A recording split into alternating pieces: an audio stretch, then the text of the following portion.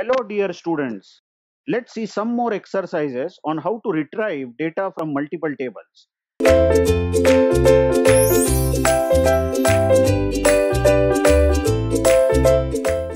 Just in the previous video, we were working on institute database.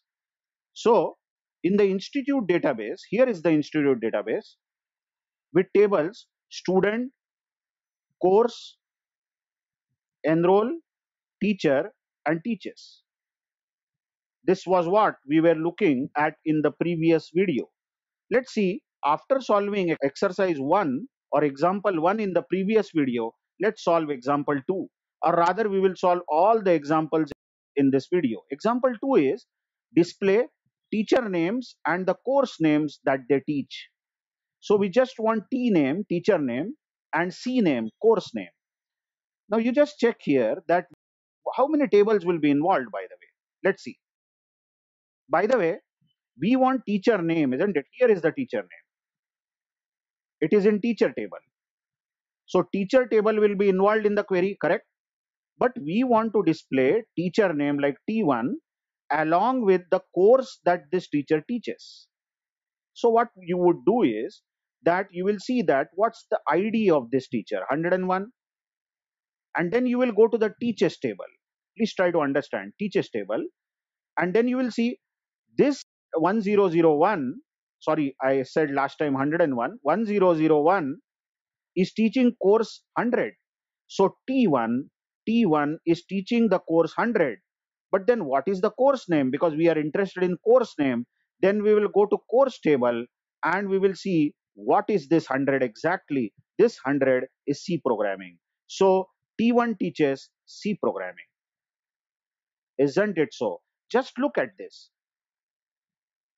what will you do what will you do ahead is when you are working with this 1001 who is T1, you will see 1001 teaches one more subject in the teachers table. In the teachers table, 1001 is recorded to teach 101. But this is course ID. We want course name. Then course name can be searched for 101 in the course table, which is Java programming. Isn't it so? So T1 teaches C programming and T1 teaches Java programming. Look at it again. I mean 1002, the second entry here, the name is T2. We want to list teacher name, but then what does this 1002 teach? 1002 teaches two subjects, 101, 102, and 101 is Java programming and 102 is Python programming. So T2 teaches Java and T2 teaches Python. I hope you are understanding. So how many tables are involved by the way? The tables involved are teacher, teaches, and course. Ultimately, we want to display only T name and course name. The third table here, the third table is involved. This table is involved because we will have to compare TID with matching TID in the teachers table. Exactly. So are you getting the query? What do you want to select? Yes, select T name, teacher name, correct? And the course name that this teacher teaches from what are the tables involved? They are teacher, exactly, then teaches and course. These three tables are involved, but then we will have to write a where clause. And the where will be where teacher.tid.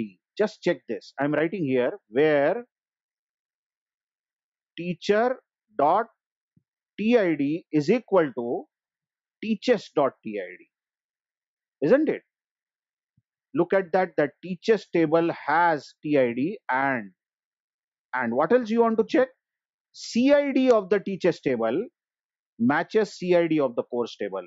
So one more condition is and teachers dot CID. This is the course taught by the teacher is equal to course dot CID and that's it. That's it. This is going to give us teacher name and course name, isn't it? So that's the answer that has been recorded here as example 2 we were looking at and select teacher name, course name from these three tables where these are the join conditions. Okay, let's see example 3. You should get this at one click now. Within second, you should get the answer. The question is display student name and course name. Now this time student name and course name such that course duration is greater than 50. What will be the select query? Student name along with course name, isn't it? But the course duration must be greater than 50. First of all, you watch that we want to list we want to list student name, isn't it? Student name, this one along with the course name, but which is the course this student has joined. That can be understood by looking at SID. This SID in the enroll table shows that this person has enrolled for course 100, but we want course name, isn't it? Student name and course name. Then we will look at this table and look, CID 100 found. But what is the course duration of this? 40. We want names of the students who have joined for the course whose duration is greater than a particular amount you know so we won't display this because the question says that greater than 50 is the criteria. Check that course duration. Should be greater than 50 and the course duration of c programming is just 40 but this same student one observe same student one here here student one has joined for course 104 and 104 is discrete maths whose duration is also 40. So obviously ABC, this student, ABC has not joined.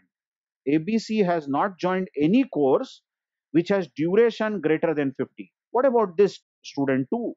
Student 2 found here. Course number 104. 104 is again 40 hours. Not interested. And student 2, watch, again a match found.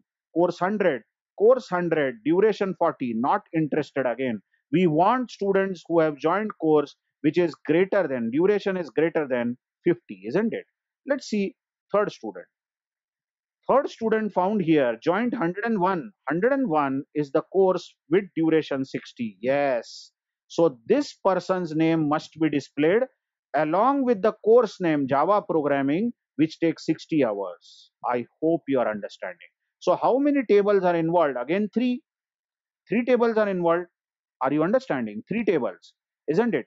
Student table, enroll table, so that we will know which student has enrolled for which course, and course table, so that we will know that that course is taking how much duration. So can you build the query now? I'm sure you can. Yes, I'm sure you can build the query. What will be the query? how many columns we want to display. We want to display S name, student name, correct? And we want to display course name. From how many tables are involved? You saw in our explanation, student, correct? Enroll and course, correct?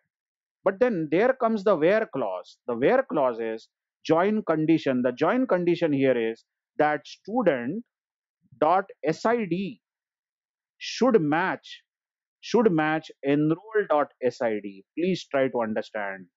Enroll dot sid and one more combination is there isn't it?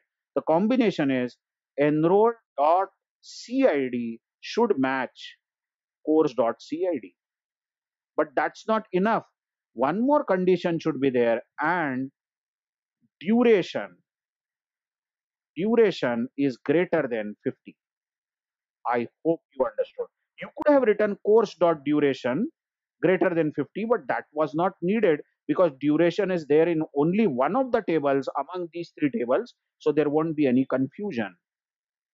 So that was example 4, I think. Okay. And that's what is the uh, how we have seen. Example 3, we have seen how to find out names of the students and course names where course duration is greater than 50. Let's see, display names of the teacher. Example 4, display names of the teacher who teach course 100. Now watch again. Names of the teacher we want. Here are the names of the teachers, isn't it? But we want names of only those teachers who teach who teach example 4 here course 100 isn't it so now you readily see that we just have names of the teachers along with teacher id in teacher table. But then which courses does this teacher teach? We will get it from teachers table isn't it? So 1001 as you see it teaches two courses 100 and 101 correct? But we want course name. We want teacher t1 teaches which course? But we want course name. Then we can easily search easily search this 100 because 1001 teaches 100 100 is which course? It is c programming. And 101 because this is the course taught by 1001 which is this course? Java programming. I hope you are understanding. So how many tables are involved here? We want to list teacher name and course name that the teacher teaches. So teacher, teaches and course, three tables are involved. And what is the join condition? Teacher.tid must match teaches.tid, that is they should be equal, and teaches.cid must be equal to course.cid. That's it. And you are going to display only teacher name and course name. So are you ready for building the query? Here is the query. Select. We want to display T name and C name. Teacher name and course name from teacher table, teachers table and course table. But the condition is, the join condition here is that teacher dot tid must match teachers dot tid and also and teachers dot cid must match course dot cid that's it. This is the answer for example number 4 example number 4 has been solved. Thank you very much